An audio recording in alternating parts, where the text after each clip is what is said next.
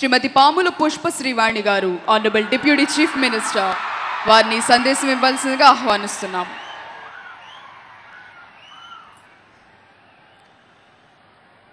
వేదిక మీద ఉన్నటువంటి పెద్దలు గౌరవనీయులు ప్రియతమ నాయకులు ఆంధ్రప్రదేశ్ రాష్ట్ర ముఖ్యమంత్రి వర్యులు శ్రీ వైఎస్ జగన్మోహన్ రెడ్డి గారికి అదేవిధంగా వేదిక మీద ఉన్నటువంటి మంత్రులకు పార్లమెంటు సభ్యులకు శాసనసభ్యులకు అదేవిధంగా మిగిలిన ప్రజా ప్రతినిధులకు ఇక్కడికి విచ్చేసినటువంటి పెద్దలకు మీడియా మిత్రులకు అందరికీ నమస్కారాలు తెలియజేస్తూ మరి ముఖ్యంగా వేదిక ముందున్నటువంటి విద్యార్థిని విద్యార్థులందరికీ కూడా మనస్ఫూర్తిగా ఆశీస్సులు తెలియజేస్తున్నాం.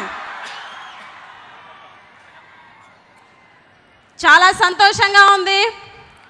ఎందుకనంటే ఈరోజు ముఖ్యమంత్రి జగన్మోహన్ రెడ్డి గారి నిర్ణయాలు అవ్వచ్చు ఆలోచనలు అవ్వచ్చు ఆయన పరిపాలన తీరు అవ్వచ్చు ఆయన ప్రభుత్వ నిర్ణయాలు అవ్వచ్చు అత్యధిక ప్రాధాన్యత ఇచ్చేటువంటి అంశాలు విద్యా వైద్యం. అందులో ప్రధానమైనటువంటి విద్యకు సంబంధించిన విద్యార్థులకు సంబంధించిన జగనన్న వసతి దీవెన అనేటువంటి కార్యక్రమాన్ని ఈరోజు విద్యల నగరం విజయనగరంలో ప్రారంభించడానికి విచ్చేసినందుకు ఆనందాన్ని వ్యక్తం చేస్తూ విజయనగరం జిల్లా ప్రజలందరి తరపున మనస్ఫూర్తిగా ముఖ్యమంత్రి గారికి ధన్యవాదాలు తెలియజేసుకుంటున్నాం. ఈరోజు ఈ సందర్భంగా నెల్సన్ మండేలా గారు చెప్పినటువంటి ఒక మాట మనం గుర్తు తెచ్చుకుంటే ప్రపంచాన్ని జయించగల ఒకే ఒక ఆయుధం విద్య అని చెప్పి ఆయన చెప్పడం మనం చూసాం. ఈరోజు ప్రతి పేద విద్యార్థి కూడా తన చిన్నప్పటి నుంచి ఎల్కేజీ నుంచి ఉన్నత స్థాయికి వెళ్ళే వరకు ఎన్నో కలలు కంటాడు. కానీ ఉన్నత స్థాయికి వెళ్ళేలోపు ఎన్నో అవరోధాలను ఎదుర్కొంటాడు. ఆ అవరోధాలన్నీ కూడా ఒక్కసారి మనం గమనించి చూస్తే మొదటిగా ఆర్థిక స్తోమత సరిగ్గా లేకపోవడం అదేవిధంగా సరైన పుస్తకాలు సరైన బట్టలు తల్లిదండ్రులు అవసరాలు సరైన అవసరాలు అందించకపోవడం అదేవిధంగా స్కూల్కి వెళ్ళేటప్పుడు మంచి పౌష్టికాహారం లేకపోవడం. అదేవిధంగా అన్నీ బాగుండి స్కూల్కి వెళ్తే సరైన సౌకర్యాలు లేక ఇన్ఫ్రాస్ట్రక్చర్ సరిగ్గా లేనటువంటి స్కూలు. ఆ తర్వాత కాలేజీ డేస్కి వెళ్తే తల్లిదండ్రులు ఫీజులు కట్టలేనటువంటి పరిస్థితి. పోనీ అది అది అధిగమించి ఇంకా ముందుకు వెళ్తే డిగ్రీ ఆ స్టేజ్కి వెళ్ళిన తర్వాత కాలేజీ ఫీజులు తల్లిదండ్రులు కట్టిన హాస్టల్ ఫీజులు కట్టలేనటువంటి పరిస్థితి. అది అధిగమించి డిగ్రీ అయిన తర్వాత డిగ్రీ పట్టా పట్టుకున్న తర్వాత ఉద్యోగం కోసం ఇంటర్వ్యూకి వెళ్తే ఇంగ్లీష్ సరిగ్గా మాట్లాడడం రాక వెనుదిరిగినటువంటి విద్యార్థులు ఎంతోమంది ఉన్నారు. ఈ రకంగా ఒక పేద విద్యార్థి ఎల్కేజీ నుంచి ఉన్నత స్థాయికి వెళ్ళేలోపు ఎదుర్కొనేటువంటి అవరోధాలు ఇవన్నీను. ఇవన్నీ ఎదుర్కొని ఉన్నత స్థాయికి వెళ్ళే వాళ్ళు కొందరే ఉంటారు.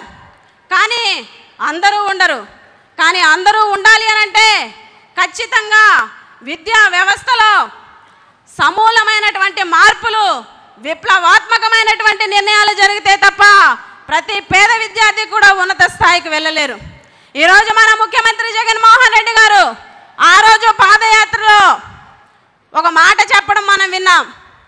నేను ఉన్నాను నేను విన్నాను నేను ఉన్నాను అని ఈరోజు ఈ సభ సాక్షిగా ఘంటాపదంగా తెలియజేస్తున్నాం.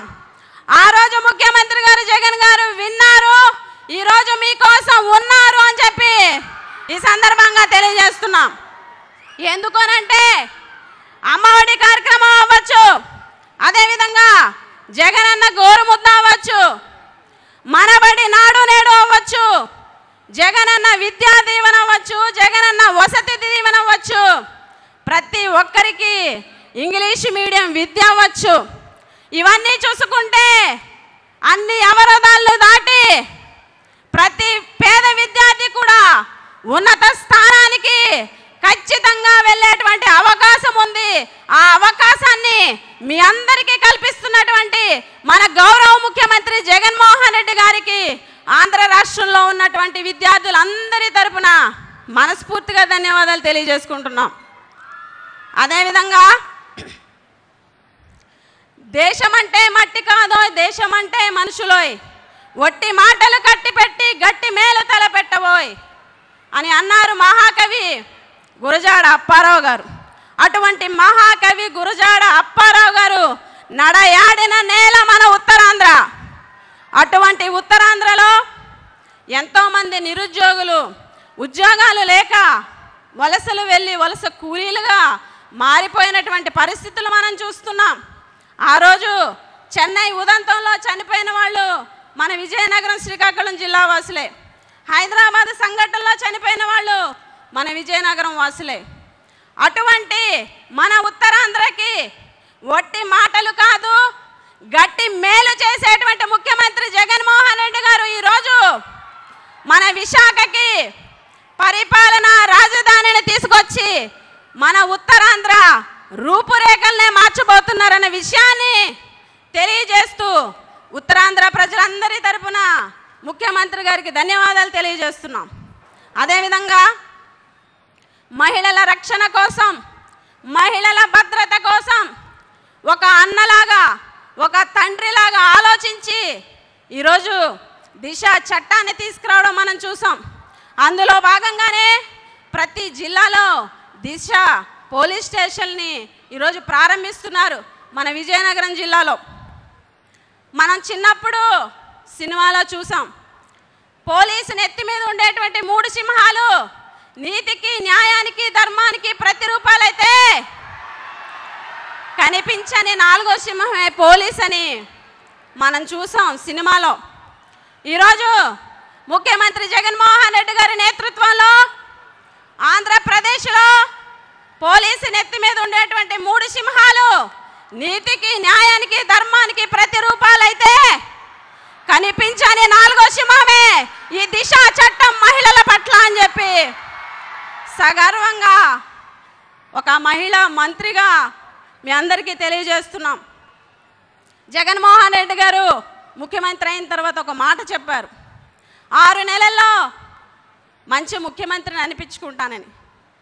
సార్ మీరు మంచి ముఖ్యమంత్రి కాదు దేశానికే ఒక ఆదర్శమైనటువంటి ముఖ్యమంత్రి అని చెప్పి ఈ సందర్భంగా తెలియజేస్తూ ఇంత మంచి కార్యక్రమాలని ప్రజలకు అందిస్తున్నటువంటి ప్రజా సంక్షేమమే మీ లక్ష్యంగా పనిచేస్తున్నటువంటి మీకు ఆంధ్ర రాష్ట్ర ప్రజల ఆశీర్వాదాలు ఎప్పుడు ఉంటాయని మనస్ఫూర్తిగా కోరుకుంటూ చివరగా ఒక మాట సార్. నేను